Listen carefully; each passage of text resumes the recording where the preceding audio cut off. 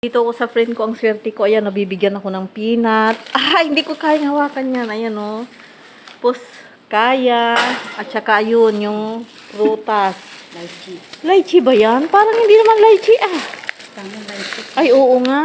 Lychee. Oh, di ba? Ang swerte ko naman. Ang daming grasyang dumating sa akin ngayon. Tapos yung isang nagdiop kanina, binigyan ako ng piras. Uy, baka mahulog. Ano na? Thank you so much. Sorry, sorry, ma'am. Lagay mo yan. Thank you, thank you. Bye-bye. Bye-bye. I love you, mama. Chup, chup. Maluto ka ng buwas. Ah, maluto na ginataan na Kaya boss. napas ka. ah, Tawag mo na dyan tagaya. Ay, agtaka mo gabay pa ng noon. Ano yung luso? Mo noon makupas ka lang ta si ami amo ka bi ma makuri siya lara napan si ka. Sige. Bye-bye. Nagisa ko dining. Magkakatato tayo guys itong ingredients. Tsaka yung kami ko ginisa kong galing kahapon para one bit ng rice.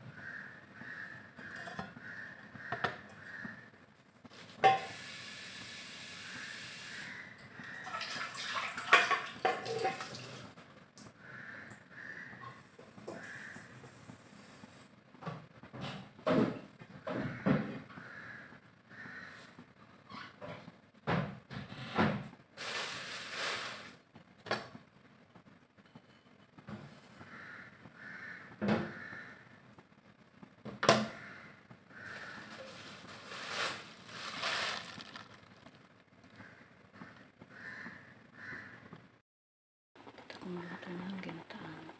Tsaka ito pa ipapaibaba ko mamaya pagluto na siya. Oh, Takpan natin. Ano kay talong? Kalbasan.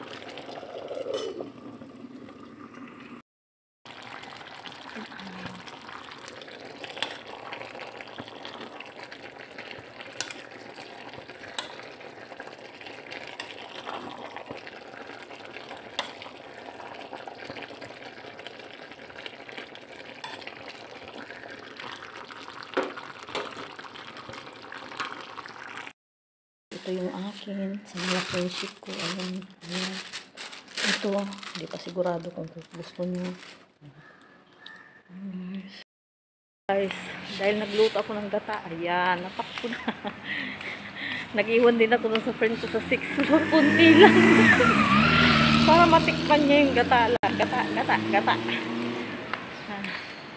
Tapos punta na ako sa park. Bahala na kung papasok si sir ko. Pasilip-silip yun lagi sa kwarto ko. eh, Kung nandun ako eh. Bahala siya. Ay, naku. Ngayong wala ka na. Ako ay nag-iisa.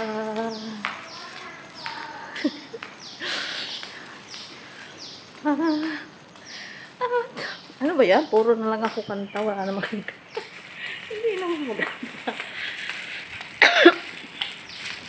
Sige na guys. Punta muna ako dun sa park. Ito ang mga tinapon guys. Pero ayokong kalkalin. Ay, nakatadong pang matanda na yan. Wala, walang magandang tinapon na yun. Wala. Gising kaya si sir ko? Kasi kung gising yun, siguradong may ilaw yung CR nila. Ah.